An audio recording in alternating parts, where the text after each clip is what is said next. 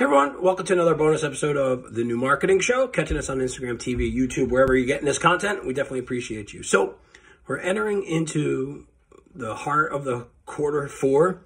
We're entering into the holiday season.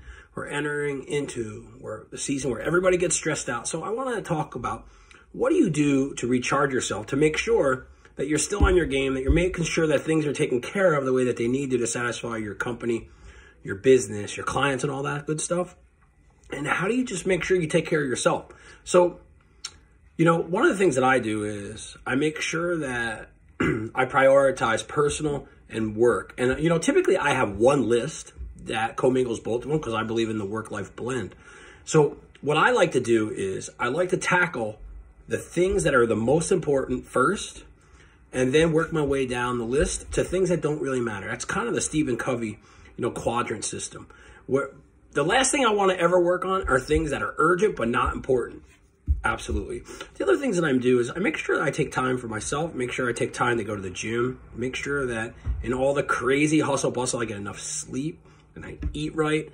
And most importantly, whenever I feel overwhelmed, I make sure that I talk to somebody or I ask for help. You know, asking for help is one of the greatest things that we can do when it comes to getting things done and staying on point and making sure that you are really, really being effective. The other trick that I have to staying effective and not getting burnt out is saying no. It's important to say no to things that you really can't do or to things that you don't want to do.